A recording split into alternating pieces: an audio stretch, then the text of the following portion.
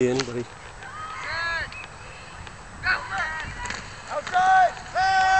Come on, Well, Riley's keeping this. There he is. Oh man, yeah. How about that, boy?